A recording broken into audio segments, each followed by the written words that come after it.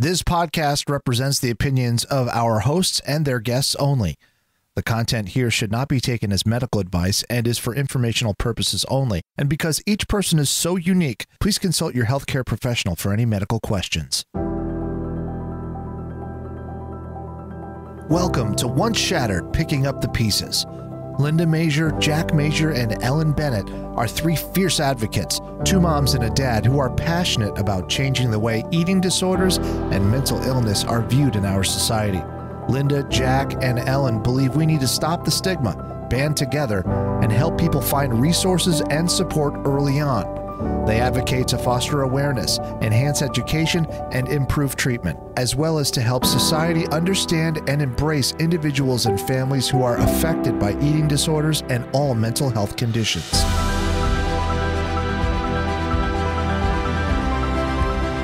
Thank you for joining us today and welcome to Once Shattered Picking Up the Pieces, episode 107. Our special guest will be Janet Schebendach, RDN, registered dietitian nutritionist, PhD.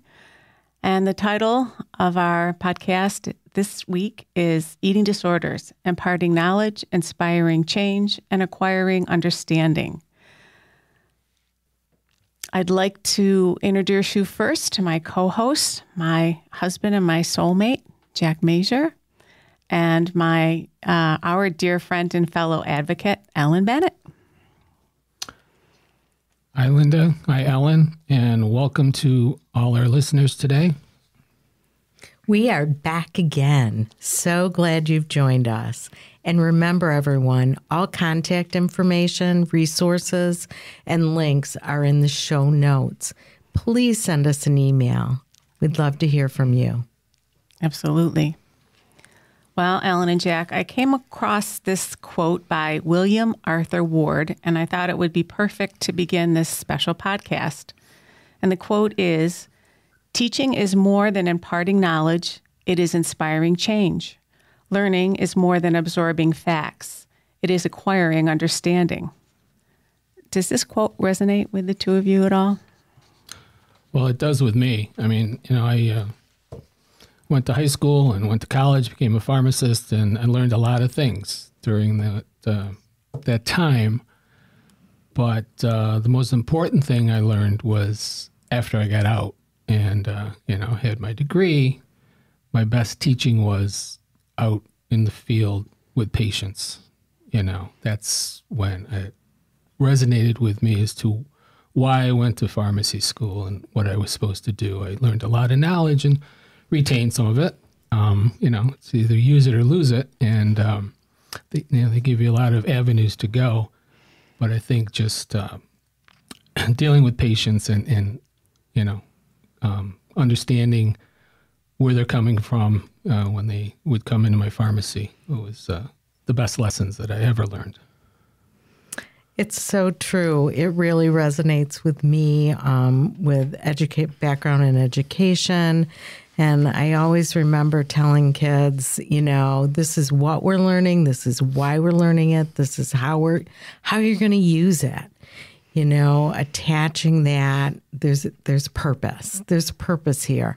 And it also makes me reflect on my journey with eating disorders in terms of I needed to seek I was inspired to learn. I needed to seek knowledge. And it was really the opportunity to um, gain understanding that awakened me to a lot of a deeper understanding. So it's beautiful. Well, our guest is Dr. Janet Schebendach. She's a researcher and an associate professor, uh, professor that strives to make sure her graduate students absorb more than just the facts. Jack, will you start her, her bio for us, honey? Sure, Linda. Uh, Dr. Janet Schebendach is a registered dietitian nutritionist. She received a master's degree in clinical nutrition from New York University and a PhD with distinction in behavioral nutrition from Columbia University Graduate School of Arts and Sciences. Dr. Schebendach has over 40 years' experience in the field of eating disorders. 40 years. So collectively, we have quite a quite an astonishing number of years here. All right. From 1978 to 2002, Dr. Schebendach worked as a nutritionalist and later as a nutritionist in charge in the Division of Adolescent Medicine Eating Disorder Treatment Program at Schneider's Children's Hospital, Long Island, Jewish Medical Center, New York. At present, Dr. Schebendach is the Director of Research Nutrition and the Eating Disorder Behavior Laboratory at the New York State Psychiatric Institute Eating Disorder Research Center Unit at Columbia University Irving Medical Center, CUIMC. Her faculty appointments include Associate Professor of Neurobiology and Psychiatry at Columbia University Irving Medical Center and Adjunct Associate Professor in the Department of Health and Behavior Studies at Teachers College, Columbia University, where she teaches a graduate course entitled Eating Disorders Awareness, Prevention, and Treatment. We are very honored to have you with us today, Janet. You are a very special guest, and thank you. Janet, when we uh, reached out to you to see if you would uh, do a podcast with us, I was so happy that you agreed. And um, I know we've done other things with you in the past, and uh, your bio is is just so impressive. And uh, you know, 40 years of working with eating disorder patients, uh, I'm sure has been um, very rewarding. It's an honor to have you. It's really unique, I think, because the connection between Jack and Linda writing their book, you reading it, you having your students read this book as part of um, their curriculum and the structure of your program is and then you joining us to have a conversation is just unique and amazing. Thank you, thank you, thank you. Thank you. And Jana, in addition to all that you've achieved academically, you've dedicated your entire career to many different facets of eating disorders, working with adolescents, conducting research, and teaching our up and coming nutrition and psychology graduate students. Can you tell us what drew you to begin working in this field? Um, sure. You know, I always think my career path was just, um, it, it, just kind of fell in, in my path, to be honest with you. You know, in, in 1978, I was a recent graduate from uh, undergrad, uh, Pratt Institute and um, was lucky enough to land a job at LIJ. I was so excited to be working at a teaching hospital. And as part of the training, we would rotate through all the clinical units um, and uh, clinical and general and, and specialized. And this included adolescent medicine, which I quickly fell in love with. Um, I actually um, was in charge of pediatrics, um, the pediatric ICU, and adolescent medicine in my, my first job assignment, a permanent job assignment. And shortly after I got that assignment, I um, we wound up getting a, a young woman, a young adolescent, admitted to the unit with a tentative diagnosis of anorexia nervosa. And you know, honestly, the staff was just, you know, we were all beside ourselves. We didn't quite know what to do with this young girl. I mean, she was markedly cachectic, and, you know, none of us really knew the best way to approach anything the refeeding, the management. We were really, you know, um, you know, just making the best of a situation that none of us were really prepared for. And, um, we did a reasonably good job of managing this patient despite really having no structured program in place. And um, uh, for whatever the reason, we started getting referrals. I mean, we were surprised that there were more individuals out there like this that um, needed our help. But you know what ultimately followed was that we developed a structured behavioral program, uh, a multidisciplinary team. Um, and I was just at the right place at the right time and was fortunate to become a founding member of that team of individuals that, that we had no idea what the heck we were doing, but we were all learning um, quickly. and in collaboration with child psychiatry, um, adolescent medicine developed um, really what became um, a, phenomenal inpatient, day patient, and specialized outpatient treat, treatment program. And it was the first of its kind in the tri-state area in that at that uh, period of time. And uh, what did um, what we did become aware of, though, was that you know that there were very specific um, treatment guidelines that were going to be needed for the management of growing teenagers with eating disorders who are this profoundly malnourished, and um, in collaboration with the Society for Adolescent uh, Medicine, now the Society for Adolescent Health and Medicine, our division actually worked to publish the first practice guideline and position paper on managing um, adolescents with eating disorders.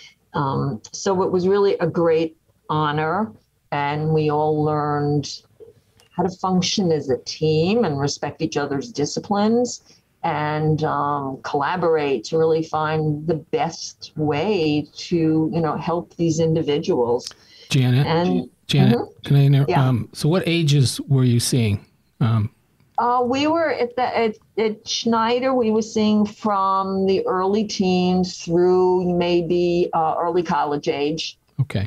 okay. Um, and uh, you know, over time, when with the program, you know, we had many individuals that were, you know, under our care for for a very long period of time, from their first diagnosis through, you know, finishing high school, getting into college, coming back to check in with us when they were in grad school. I mean, I do think that that was one of the things that made the program so successful is that we had a very intact treatment team and that we were all very connected to these individuals and they were really able to reach out to us if they were having difficulties, come back in if they were out of state and you know away at school, they could still check in with us, come back in for visits.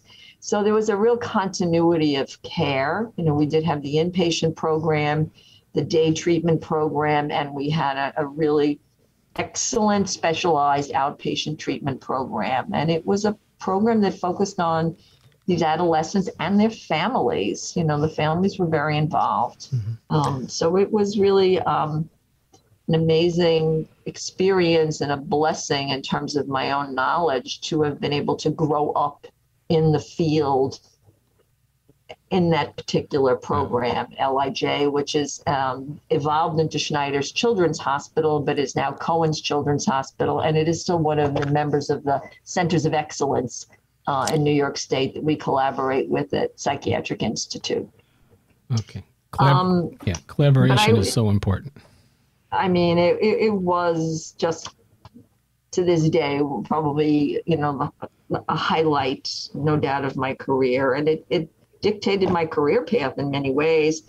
Um, but with really, it was a very difficult decision in 2002.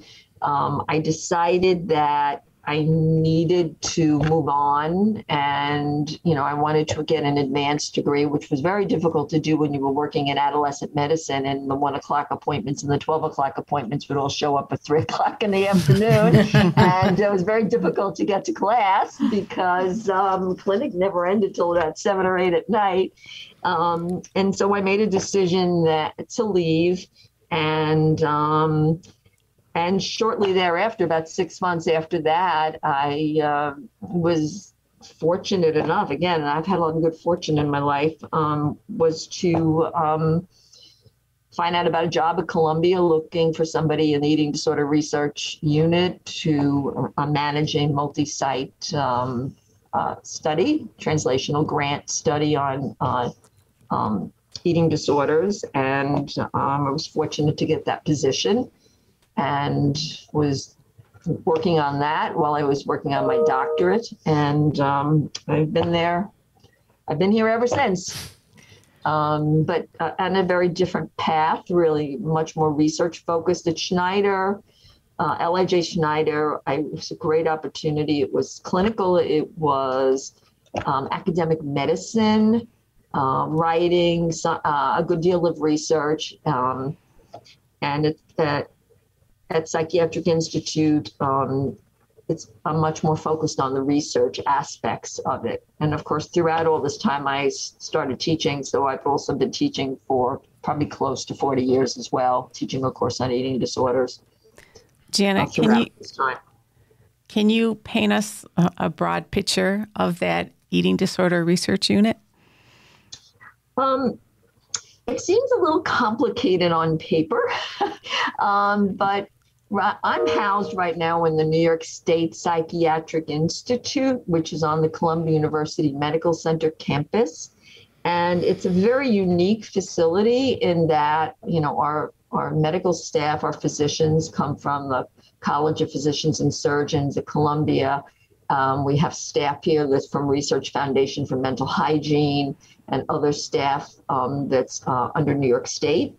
And um, what makes it so unique is that treatment is free.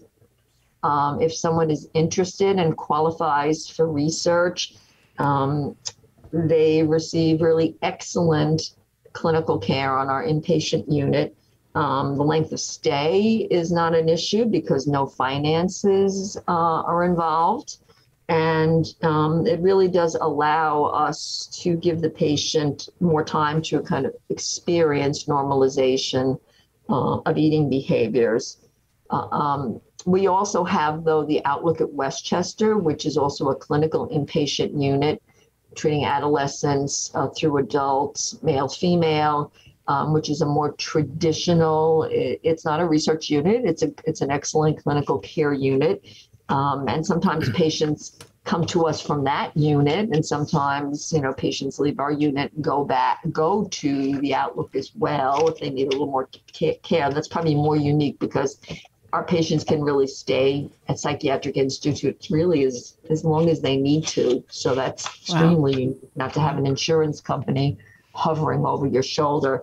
Uh, the outlook at westchester is a beautiful facility but it, it is a more it is a more traditional um, insurance based treatment program for people who are not comfortable um, with doing research.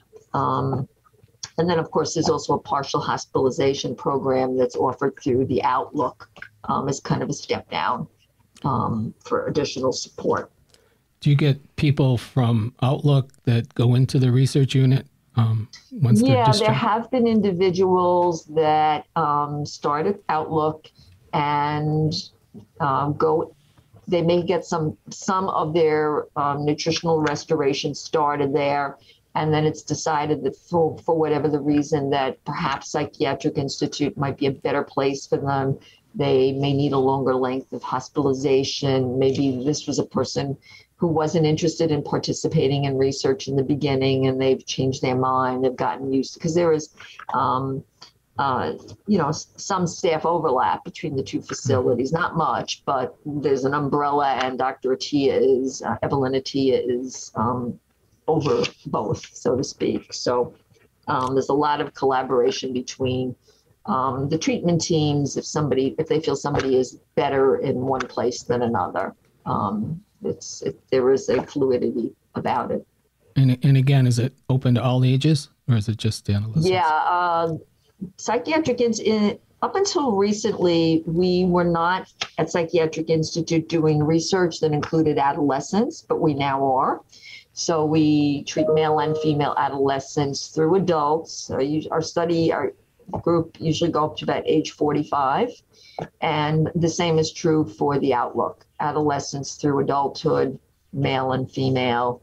Um, and, uh, you know, so a broad you know, a broad age uh, representation in both facilities. Okay, thank you. Um, this next question is kind of multi um, uh, part. Uh, as the director of the Research, Nutrition, and Eating Behavior Laboratory at New York State Psychiatric Institute, can you share who your colleagues are and about the eating disorder protocols you design, why you designed them the way you did, and a little about the patients you work with and anything else you'd like to share about your research. Yeah, I mean, uh, first and foremost, uh, you know, I'm privileged to work with a brilliant team of clinicians and researchers who really, you know, are leaders in the field. These are the people who are writing the diagnostic, among the people writing the diagnostic criteria for these eating disorders. So, it, again, I've been blessed so many times. Um, uh, Dr. Tim Walsh, who um, I believe, designed and opened the unit in 1979. Uh, Dr. Joanna Steinglass, who's doing longitudinal studies looking at um, uh, neurocognitive changes and um, uh, changes in eating behavior over time in adolescence. Dr. Evelyn Attia, who, who's basically the umbrella person over both the Outlook and Psychiatric Institutes program. Mike Devlin does a lot of work with binge eating disorder. Laurel Mayer does work that crosses over with the Obesity Research Center across the street at Columbia. Looking at you know, binge eating behavior, obesity, overlap in, in those diagnostic groups. Um, and then we have a team of incredibly gifted PhD psychologists, uh, research fellows, social workers. So we've got a very big staff, including extremely hardworking and very smart research assistants. I always look at this as like it really takes a village to do what we do here.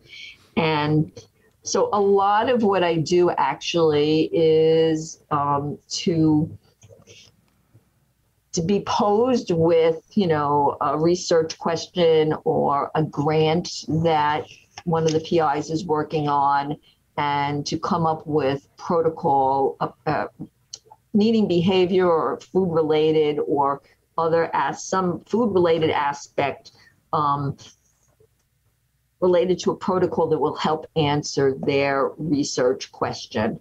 Um, you know, um, you know, as as you all know, uh, um, patients with anorexia nervosa can be very can be effectively weight restored on a good clinical unit, and you know they will hopefully reach uh, a minimum treatment goal. Although I, I know in, in your case, Linda and Jack, that that was always not always so successful with Emilee, but um, you know, it, it's probably the easiest part of the job is to get the weight on. The bigger the bigger question is how can we keep the weight on because the relapse hmm. rate after after discharge is really quite high.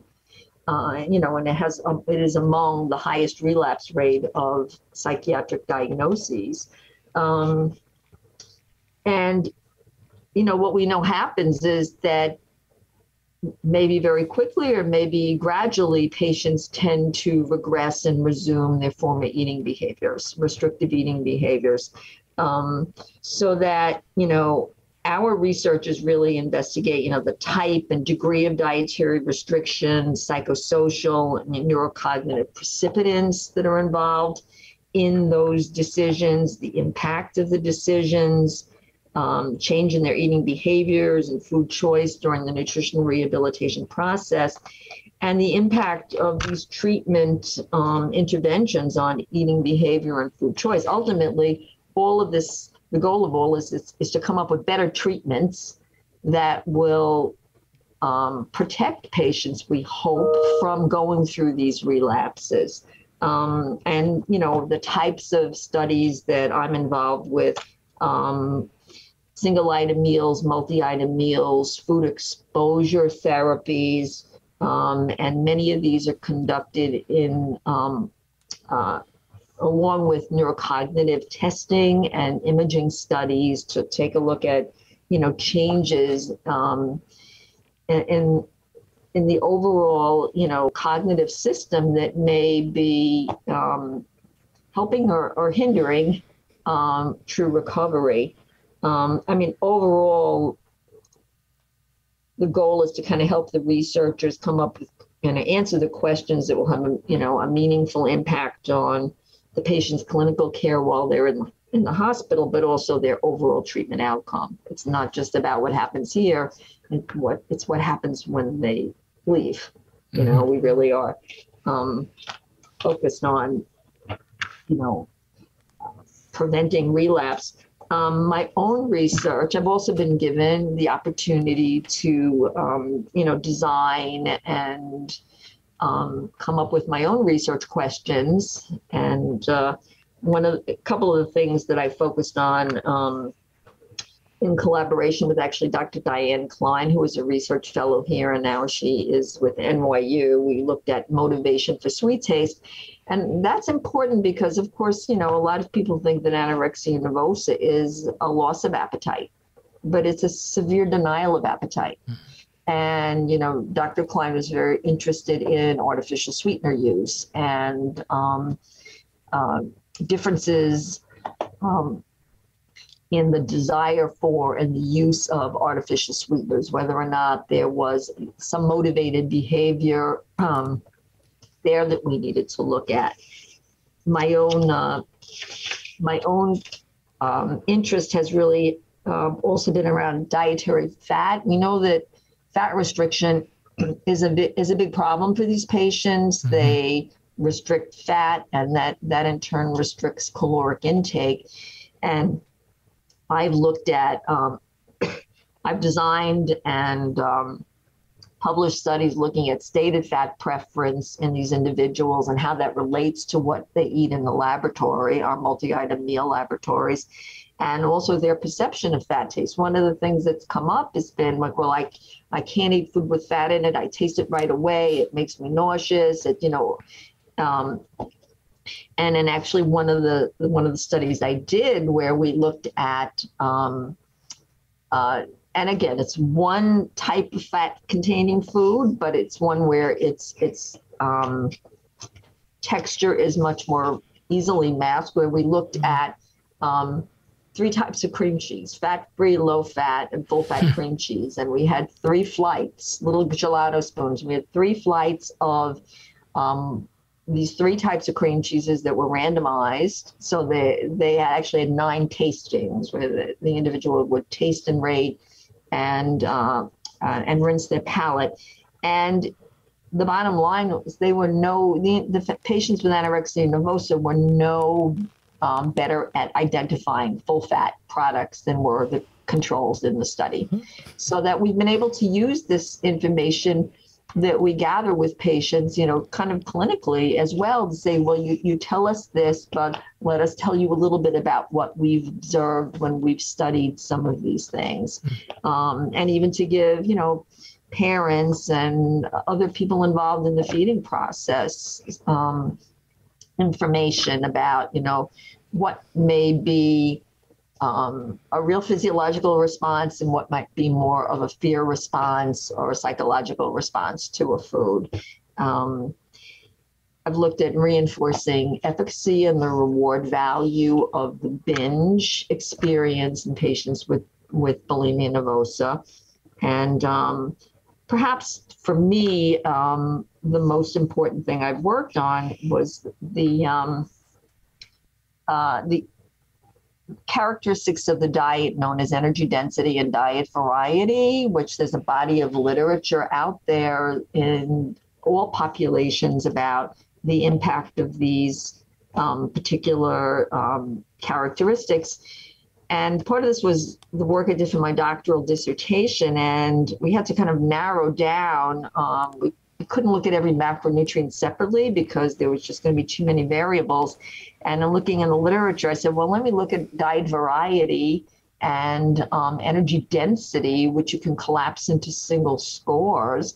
And I started looking at um, records from Dr. Mayer's study, did a, a really eloquent uh, body composition study, a very well respected, renowned study on body composition changes in um, after recovering patients with anorexia nervosa. And part of that study required that patients maintain very diligent um, food records. And this was started in the hospital when they got to their weight goal, treatment weight goal.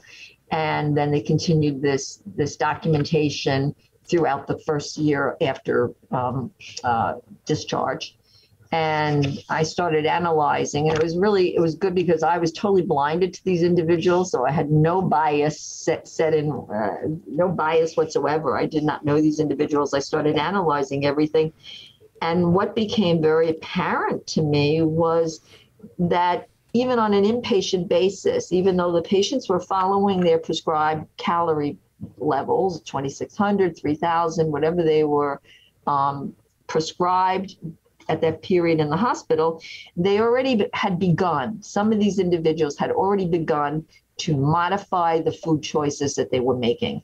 They were selecting the total amount of calories that they needed to, but they were doing it by choosing lower energy dense foods. So they were eating more food, but food that was of lower energy content. Um, and they were also limiting their variety. We have a very nice kitchen here, a small kitchen that's you know very gracious in terms of providing patients with what they want. And all of a sudden, when I'm reviewing these records, I'm seeing, you know, I'm no longer when the when the dietitian was providing their food, you know, you'd see, you know, apple, banana, grapes, uh, melon all of a sudden I'm looking at these food records and I'm seeing apple, apple, apple, apple. Every day they're starting, when they were given the privilege to start selecting their own food, they started to, uh, they were very redundant. And there's something called sensory specific satiety, where the more you keep eating something, mm. a similar food, the less appetitive it is, the less you want to continue to eat it. And that's interesting.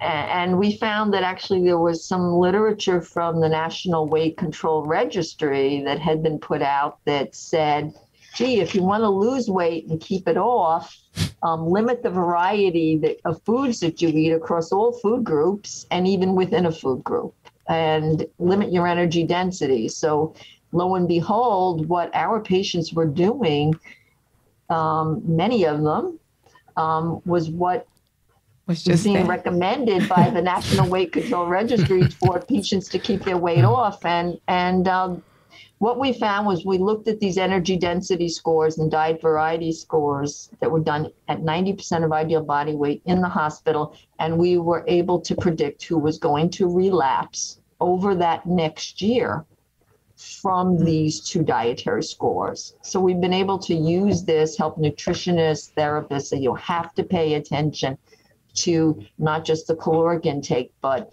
the variety in the diet and the energy density of the specific foods that the individual is selecting. Well, that's that's quite a that's finding. Huh? It's amazing, and yeah. it's so. If, if a person relapses, can they go through the um, research center again, or yeah, we've we have had um, patients that we've been able to accommodate um, to offer another, um, you know, participation in, in another study, mm-hmm. so they can return um, if they wanted to. Uh, under some rare circumstances, when when we have clinical beds available, um, you know, we will always try they they do try very hard here to accommodate somebody that's worked with us and helped us through the research and find another way if they choose to come back and if they're struggling oh that's um, great yeah uh, it's uh, there is a loyalty that i've seen to the to the patients for sure do you find adults are less um, likely to do the research as opposed to adolescents um, well, you know, it's we've traditionally been a unit that did the research in in the group of 18 to 45. Okay. And it's only the last several years with Dr. Steinglass's study that we have started to incorporate the younger adolescent that at a time where we would be capturing perhaps a newly diagnosed individual. Mm-hmm.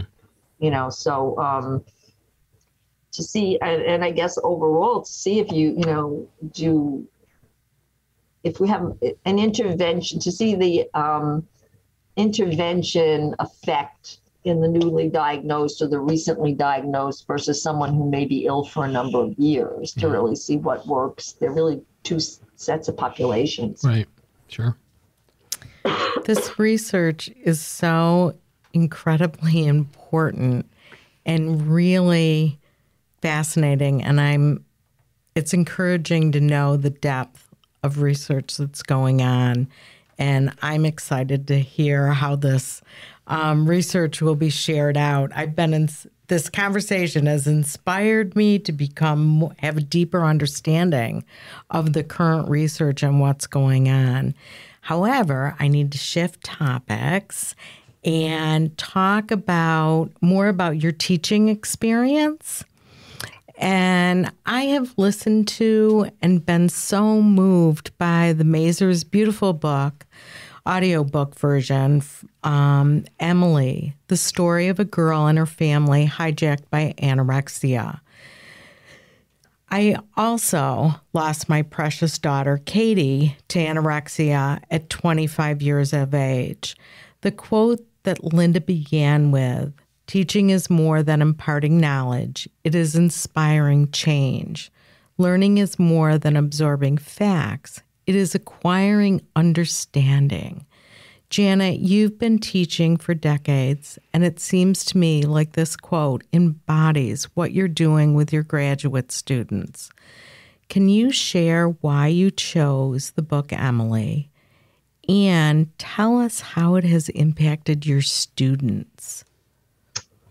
Uh, yeah. Um, well, a colleague of mine at, at NYSPI, Barbara Smolik, met Jack and Linda at a comprehensive care centers for uh, eating disorders event in Albany. And um, Barbara told me about um, the book, Emilee's Story, uh, and Jack and Linda's mission. Um, I got the book, I read it, and I thought this, gee, this will be an amazing addition to the grad course that I'm teaching at Columbia with, of course, is eating disorders awareness, prevention, and treatment. And it's um, it's offered to nutrition majors and um, psychology majors, uh, grad and, and, PhD level.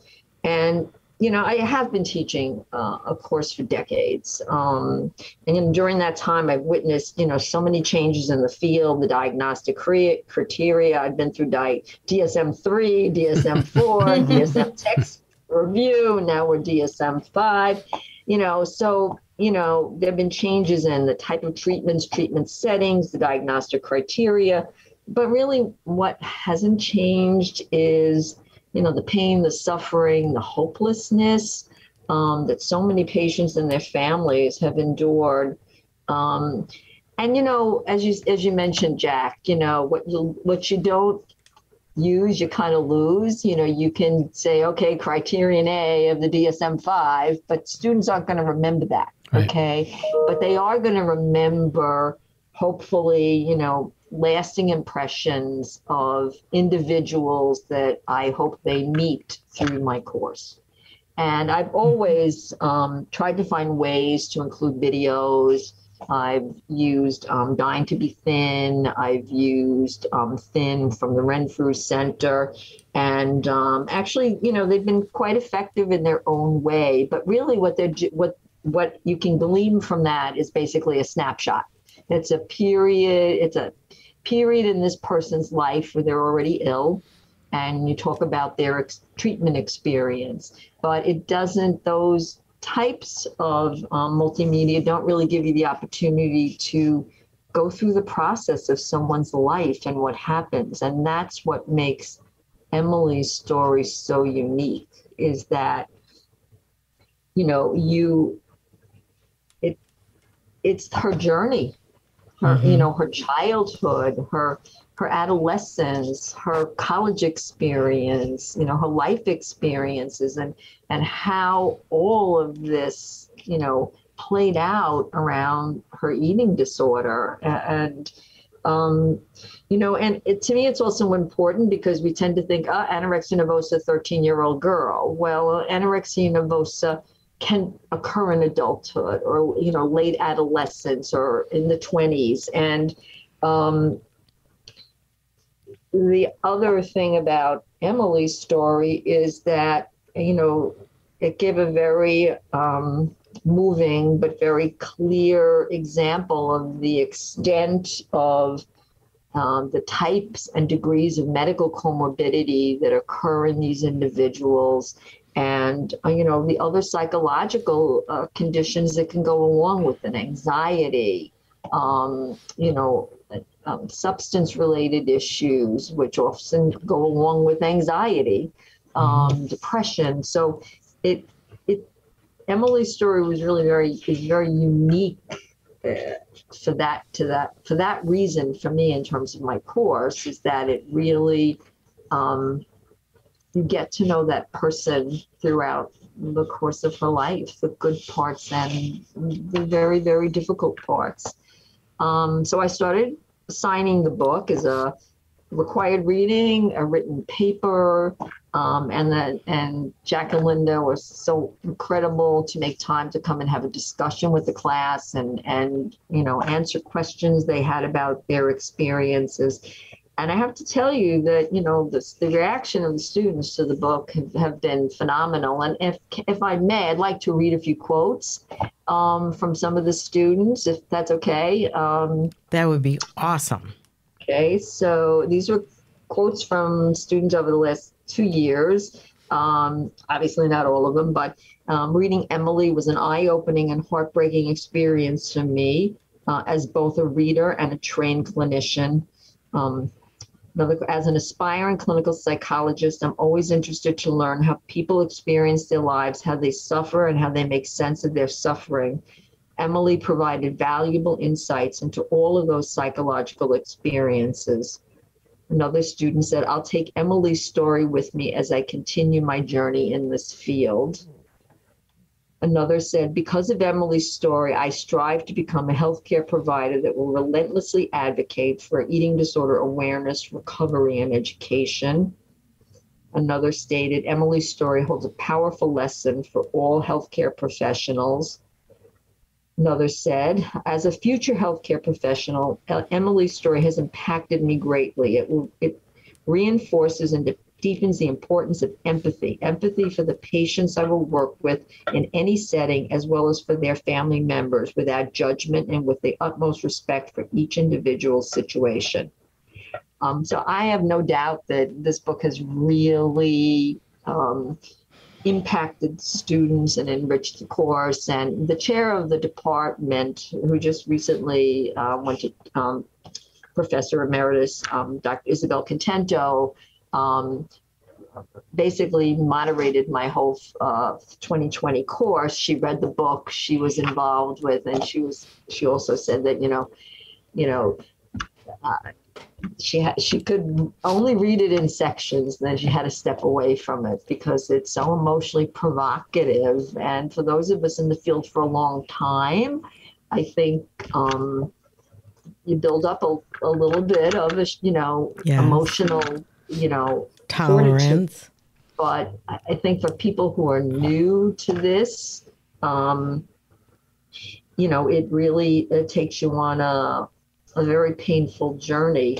Um, the other reason I think it's important a book like this is I mean I found with at least with nutritionists that I found that nutritionists either really like to work with these patients or they find them like stressful and why don't they just want to eat? Absolutely. And, you know, we've you know, experienced and, that in the and, in the field uh, for sure uh, and you know and I do think that another important point a part of this course is this is what it's all about. This is as bad as it can get. And if you don't feel that you're going to have the skill set to work with these patients, then don't try. Don't start. Don't start. Don't even I, start. You really either yeah. have it or you don't. That's what I think. Um, that is a powerful reason for having it part of your course. And I that is exact what your students are saying is exactly why Jack and Linda wrote the book, why Emilee wanted a book written. It's why we tell our stories, we start the conversation because what we lived in the truth, the whole timeline of what ha- what happens with children with this disease needs to be understood and it needs to be felt on a very deep level because if we're going to change the outcomes, this needs to be understood. And one of the things that's rung really true as you've been speaking to me has been the conversation about continuation of care and how important that is. And it seems like these new people coming into the field, em- the story of Emilee will really emphasize how important, not only do you have the research, but here is a very descriptive story of how important continuum of care is. Absolutely. And I, yeah, we are both, I, all of us here are sitting just taking a moment and breathing deeply. And it would be our hope that more and more graduate students were exposed to the real stories, the real issue. And if reading the book Emilee is going to help, it needs to be shared. It needs to be shared with more classrooms. And I think that reality, um, it is provocative. It was diff- I had to listen to it through the audiobook. I it was too difficult for me to read. And then I could read it in, or listen to it in sections at a time. And truly, listening to Jack and Linda read that book is powerful. Um, Well, anybody who's lost a child uh, to anorexia or another eating disorder, and, and you read the book, it, it's it's emotional. It's triggering. You know, I, it, I I mean, not. I mean, just it takes you right back to what you experienced. That moment. Yeah. Um, And if it can happen to us, it, could can happen to happen to anybody. I don't. I, I would hope that it's it's not a, a triggering thing for somebody who has an eating disorder, because we tried to be very careful not to use numbers and uh, weights and things like that. And um, but we tried very hard to just go back and from from the beginning. Um, our editor uh, Renee Jacobson and helped us content edit the book. And she said, You have to start at the beginning because we need to know Emilee. And that was very good advice. And when we went back and did that, all the little things that were that you didn't think about much at the time, um, that maybe you brought up to the pediatrician or somebody, oh, that's normal. That's no, that's no big deal. It's just a phase, whatever. Just little things like i- i- having trouble sleeping and stuff like that from the time she was a baby. Well, we made sure to put each one of those things in that book because we hope that if other people read it and it gets, you know, the more it gets out there, that they they won't let somebody tell them a medical professional tell them it's no big deal because maybe it is, you know. Especially a medical professional who's not trained in Right. eating disorders. but you know we've really just taken our our pain and um, just turned it into a passion to try to help, help other people and uh, janet you have helped us do that in a much larger way than we ever dreamed was possible and it brings tears to my eyes to hear what your students um, have written Well, and- and I want to thank Teachers College, which, by the way, I think is a phenomenal. I mean, I've taught in three schools, grad school programs, and Teachers College is um, just phenomenal faculty student relationship. And, you know, they give you a lot of latitude. They're, they're really interested in, you know, what the professor is going to bring to the course, how the students, you know, they sit down with you. Afterwards they sit down with the students. They really care about it, it's not like okay the course is over goodbye let's just move on. It's a phenomenal uh, nutrition program but it's also the ability to bring in other students within the health and behavior studies department the, the psych majors the, um, there's a couple of different psych tracks as well uh, and I even had a school principal uh, the first year I was teaching I taught this course for five years at Teachers College and I think the second year I actually had a, a high school te- principal. And we said, okay, it's going to be a little challenging because this is kind of out of your area of specialty in terms of the medical stuff. But, you know, he really wanted to know about eating disorders. He really wanted to have a, a good sense of, you know, what these disorders were about. So, you know, we made that class work for him, even though it was not really designed for somebody, you know, as a high school principal, and, and we and we made it work for him.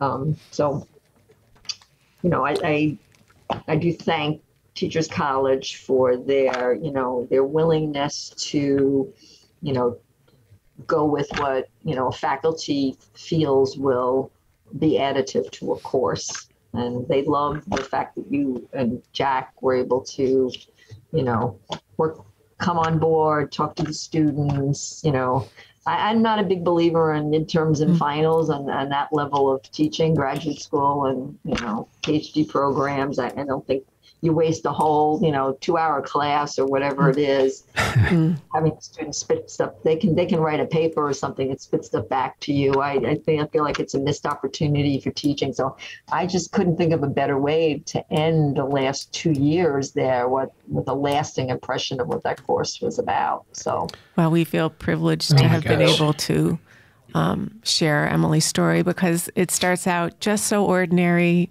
ha- you know, happy. Um, like what can I say? You know, just it just started out so ordinary, regular, good family life, and if it happened to us, it could happen to anybody. And I just thank Teachers College, and we thank you for uh, helping us to hopefully help somebody else, so that the same fate doesn't happen. We're on board for 2022. So, well, you know, I just I, I was naive back when we started you know, in 2007, 8, 9. And then when Emilee decided to try to get help herself in 2010, I just was so naive that I thought, well, you know, she's going to see doctors and they're going to help her and she's going to get better, you know, not realizing how little education they get needing to So, Janet, thank you. And thank, you know, all people like you that are, that are trying to teach the new generation of, of uh, clinicians how to deal with these people. So thank you. Okay, so we have a couple more questions. So, um, Ellen Bennett, through her foundation, KMB for Answers, and Jack and I, through our book, are trying to spread awareness, understanding, and compassion for individuals who suffer with an eating disorder as well as for their families. We have made some progress, but we still have a long way to go. The statistics show only one in 10 people with an eating disorder seek treatment. We understand part of this is because of the shame and stigma of having an eating disorder, but part of it is because people who are not diagnosed and some that uh, some of that may be because of a lack of education about eating disorders in our medical community.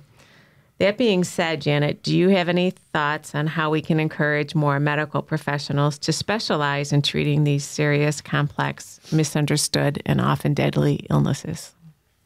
Yeah, well, I thought a lot about that question, and I thought that I first needed to take a step back and and think about okay, um, I do feel like first, and you brought up an important point with you know uh, watching out for you know subtle signs. I think we need to first think about the front line professionals. Um, you know, and over the years, I mean, teachers, elementary school, high school, gym teachers, and we had a kid at Schneider whose gym teacher caught hmm. sight of one of the girls changing out of changing in the locker room and realized how cachectic this individual was. And you know, coaches who have really um, can have negative and positive impact. You know, years and years ago, I guess over 30 years ago, there was an article in the um, one of the Long Island papers about a coach on Long Island at a high school who was encouraging his female students to keep their weight low enough so they wouldn't have a menstrual period because it just got in the way of the track meets and and you know and and this this blew up I mean, it got out there, and you know, the paper went, you know, went with it. And but we know in, in all of these mm-hmm. elite athletes, you know, um, what some of these individuals are put through in terms of weight. Um, so it starts with, I think, our educators, you know what's happening in, just in regular medical care you know pediatricians you know i would say plot those growth charts make sure you're plotting the growth charts and you're plotting them properly you know learn to ask some screening questions and sometimes learn to ask difficult questions um, that may be somewhat sensitive to families. You know, you have internists, you have gastroenterologists treating GERD, abdominal distress, constipation, diarrhea problems that are not looking for the signs of eating disorders. Um, OBGYN, women being treated for menstrual irregularity or infertility problems that are not being asked questions about how they eat and how they're maintaining their weight and of course understanding that not everyone with an eating disorder is underweight you have right. a, you know groups of individuals with atypical eating disorders that are normal weight or slightly above normal weight and they're highly restricting and their their eating behaviors are very deleterious and it affects fertility and pregnancy outcomes.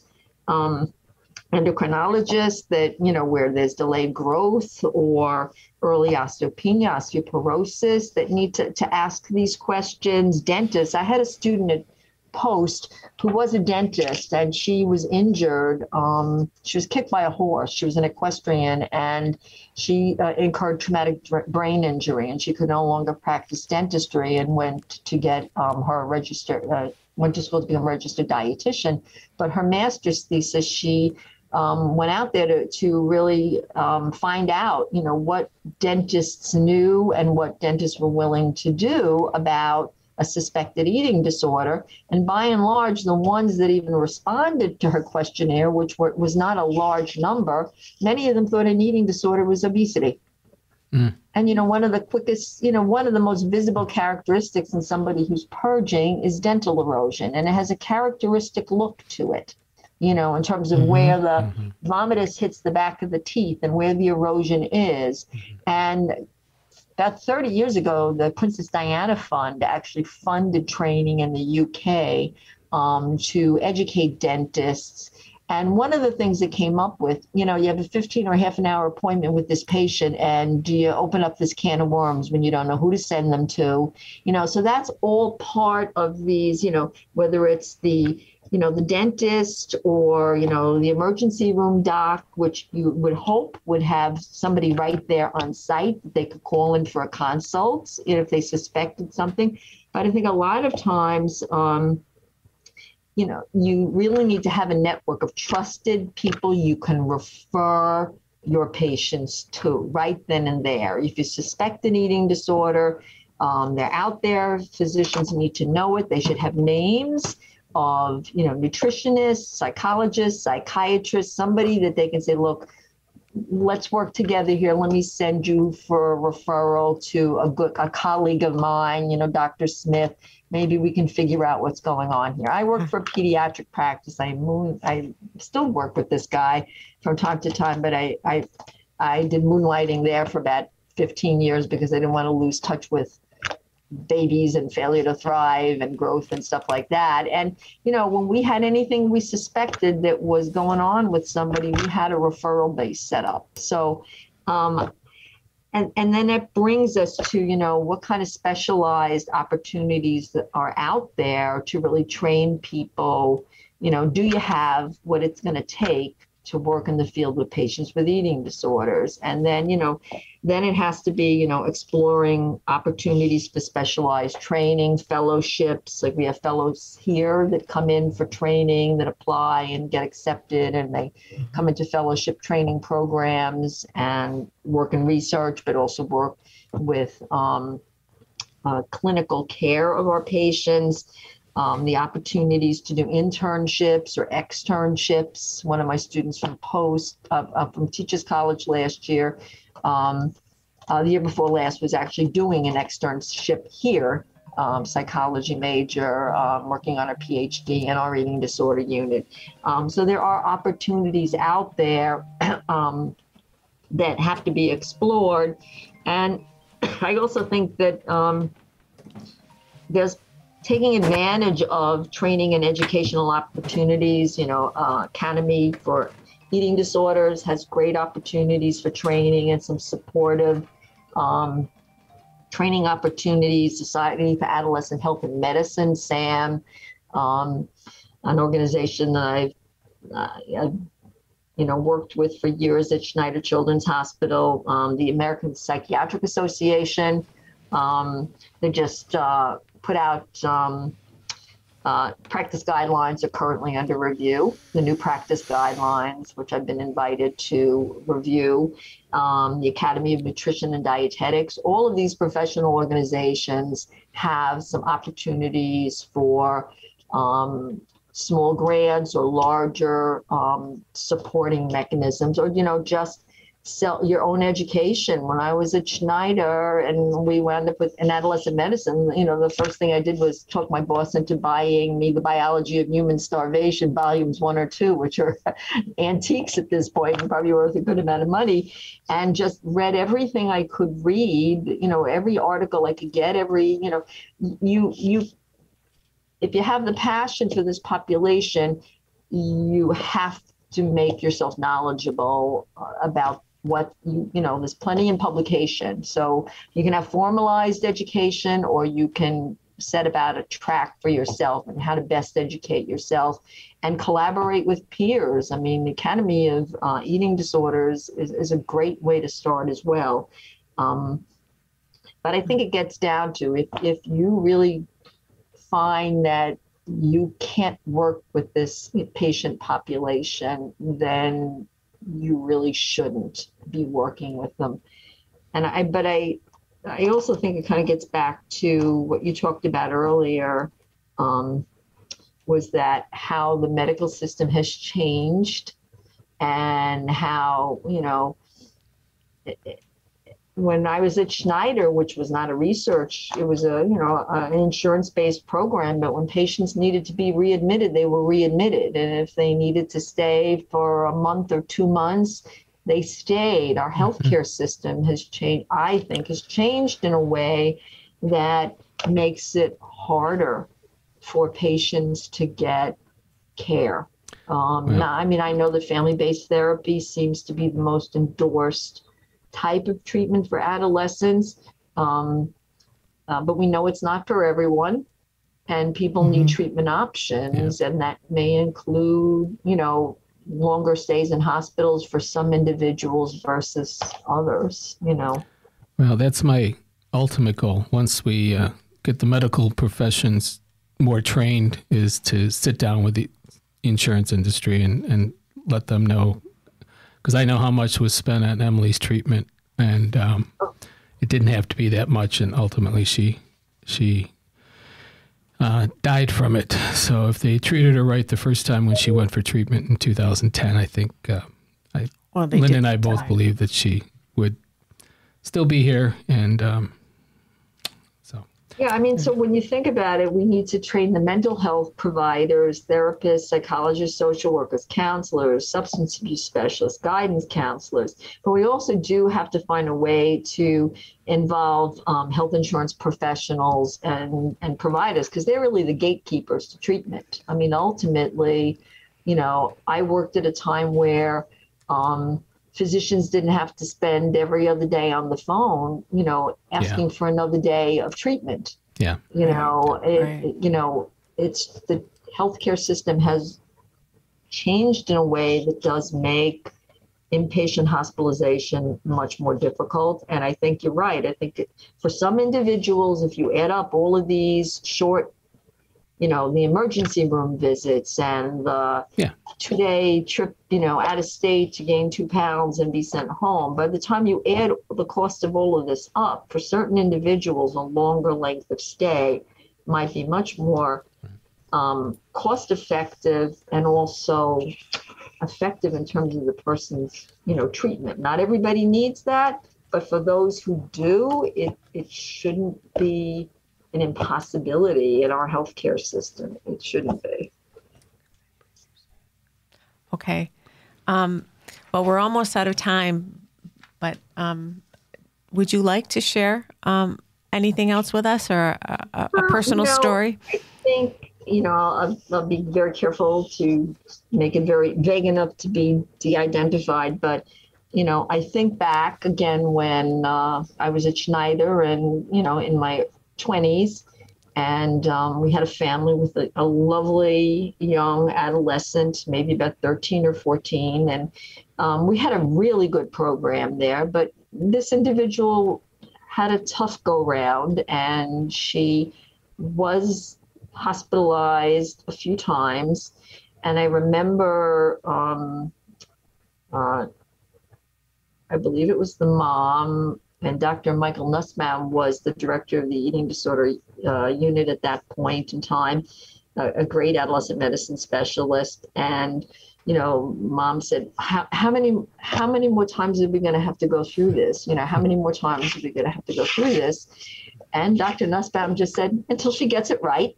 Mm-hmm. And, you know, and and she did get it right and and the beauty of that program was that you know she remained in our treatment largely on an outpatient basis and through high school and college and came back to visit us you know after college and then went on for an advanced professional degree. And um, I had dinner with her two weeks ago. We have oh, dinner, you know, quite frequently, and um, you know, this is somebody that I've known over 40 years that you could mm-hmm. really, um, you know, and, and, you know, she was severely anorexic when she was young, but she, mm-hmm. she made it. And, you know, it's very hard to say, you know, why, um, you know, why she was this fortunate.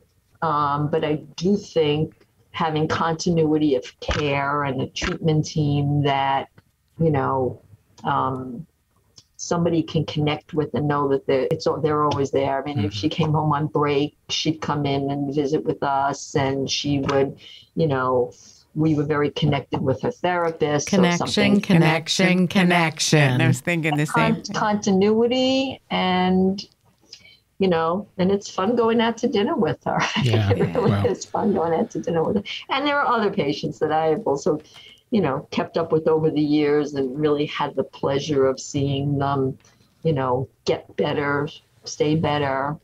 Um, one of one of the individuals who really struggled with um, more atypical uh, anorexia nervosa and, and a lot of you know eating behaviors, um, binging, purging, vomiting, and you know, she married, um, and always said, like, well, that's it. My kids are never going to have an eating disorder. That's it. You know, I'm going to make sure. And she had a very rough, rocky course too. Mm-hmm. She had many hospitalizations, and her firstborn wound up having very severe food allergies, which would result in projectile vomiting. And she was like, you know, like I can't believe I, you know, I'm running around the house saying, no, you can't eat this. No, you can't eat that. She said, you know, I, the one thing I never wanted to do was to have a child have, have that kind of relationship with food. And, you know, here I am with a kid with uh, severe food allergies and, you know, projectile vomiting. So, you know, it is nice to,